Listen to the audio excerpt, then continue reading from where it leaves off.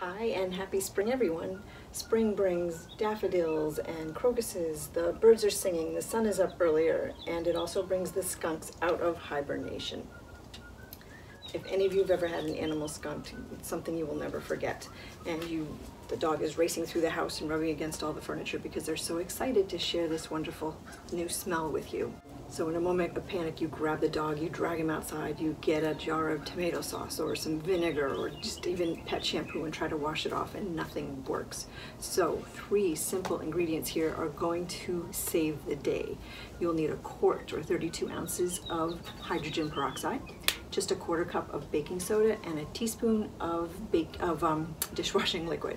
And you're gonna mix all of that into a big bucket. You take your pet outside, wash them thoroughly with this concoction.